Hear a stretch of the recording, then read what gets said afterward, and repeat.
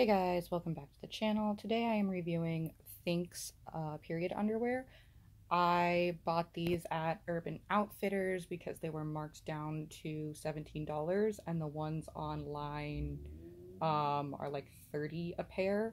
So they're kind of expensive, but I was like, ooh, for 17, hmm, I'm gonna try it out.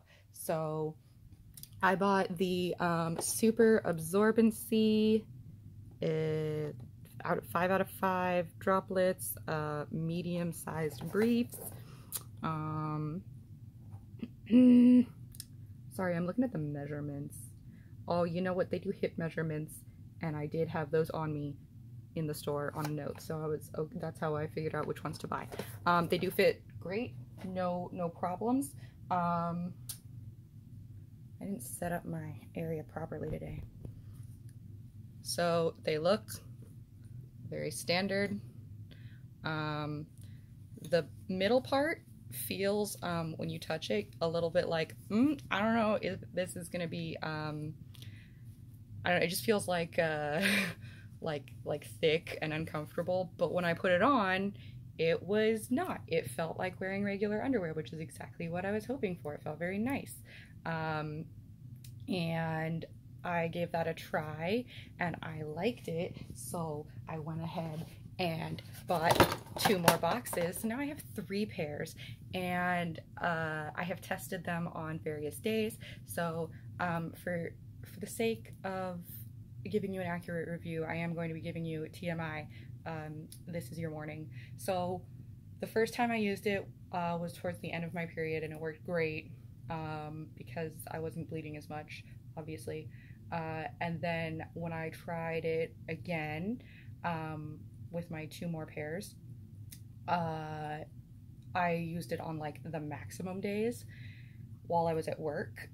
And they were very, very saturated by the time I got home. So like work started at like 8.30. I probably put them on around 7.30 to 8, sometime in there.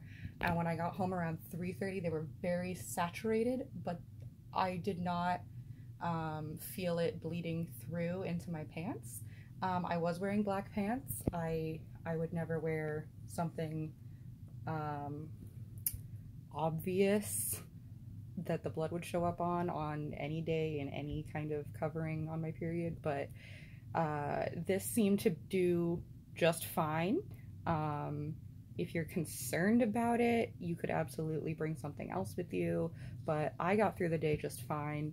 But I could tell it was like, it was at the end of its rope. So when I got home, I um, switched into regular underwear with a, uh, a regular pad. So it's not going to get you through the entire day, like 24 hours, but it will get you through a full work or school day, which is very nice. I find that it is more comfortable than wearing a pad, like you could feel difference. It is definitely more comfortable. Um, what else? Oh, washing. It says um, to machine wash cold on gentle, and it's supposed to maintain its peak performance for 40 washes. I have only used them a couple of times, um, so I can only speak from having washed them like two or three times, but uh, nothing, no problems so far. I do use Tide Pods, which include fabric softener, but it hasn't seemed to be an issue. I just um, wash them with the rest of my black clothes and then I uh, pull them out before the dryer and I hang them up. And it takes a little while to dry because it's a big thick pad in there, but um, I think in the summer it'll definitely dry a lot faster.